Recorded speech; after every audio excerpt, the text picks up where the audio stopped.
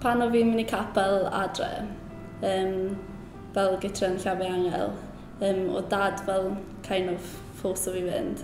Um, tan bod fi'n 15, so e fel fi a fel y kids yma i gyd lawr yma. A um, o fi just, um, semod, o'n i just yn gwneud crosswords a lliw mewn a stwff. Sa'n rili cofio yn byd o fe.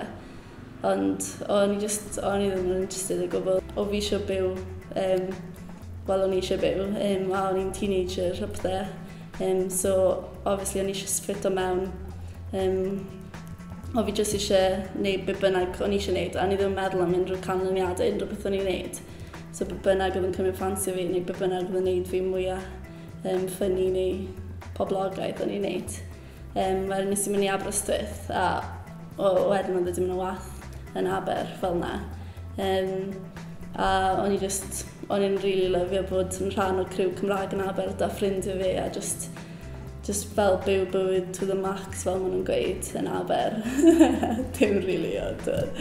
Um, just, yeah, just mynd mas bob nos um, fel um, cysgu rownd a um, just neud unrhyw beth oedd pawb arall yn neud. Ond fi ddim eisiau meddwl am beth oedd bywyd fi na beth oedd pwrpas yna diwedd e na fel dibynau. E um, chos O fi yn kind of meddwl yma e weithiau, yn fel ganol nos, ben fy hun. A wedyn, fel, yn ail flwyddyn coleg fi, nes i, um, nath boi'r enw Derek hwyd fi fynd ar cwrs alfa, a fi ddim rili'n gwybod beth oedd e, yn oedd garlic better cheese na. Oedd hwnna'n neis. Um, ond o'n i jyst yn mynd am laff o lot o ffrindiau fi'n mynd. Ond er ni fel, athyn ni um, ar y weekend, um, sa'n gwybod pam nes mynd, o fi'n gig ar y nos Wener, a oedd, oedd sain ma siwr nes i dino i fynd ar y bore sadwr, nath Rhys mynd â fi lan. A nath ni mynd ar y weekend. A oedd e oedd e bach o time out allan o bywyd coleg. Um, a just y pressure na i uh, fod fel pub um, i fod yn wahanol neu whatever. Um, a oedd fel y stuff o'n i wedi bod yn clywed, o'n i ddim rili'n cofio dim o fe. Um, ond o'n i fel, o'n i'n canu am Iesu yno fe. A o'n i'n clywed am y ffordd. Fi jyst yn cofio jyst yr image really clir ma. O'n i'n jyst yn eistedd y sedd yr image really, really clir nes i cael um, o Iesu yn uh, just yn cymryd y poen i gyd um, drosto fi ond oedd Iesu fel di cymryd y cos bod ni'n heiddi am y stwff o gyd o'n i dyn ni'n wrong fel o'n i troi cefn fi ar ddew, as in, o'n i ddim yn abod e gwbl.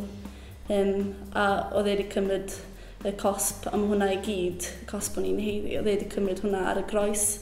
O fi'n crio am oriau, ond o fi jyst eisiau rhoi bywyd fi gyd o fe, o'n i methu aros i roi bywyd fi gyd o fe, o'n i just, o'n i just eisiau bod yn hollol committed i fe, just y funud na ymlaen.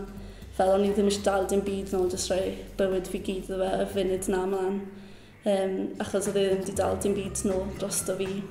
Nes i mynd i um, byw yn Amsterdam flwyddyn achos o fi eisiau um, o fi eisiau gwasanaethu dim ffordd practical a um, o fi jyst i ffeindio allan mas na fel bod, um, wel, bod da fi rhyw fath o fel gift a um, pobl ifanc ond bod fi jyst rili, really, rili really mwynhau treulio amser yn cwmni mi o.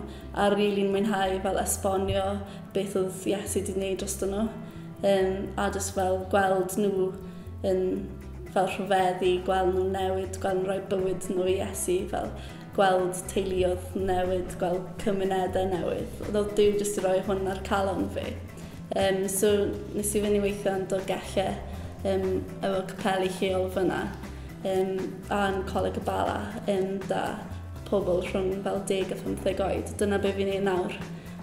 Um, yeah, ni wedi bod yn gael gymaint bobl ifanc yn dod i'r pethau, um, ni wedi bod yn trefnu, um, a gymaint jyst yn eisiau clywed mwy am Iesu a rhoi bywyd yn nhw i Iesu.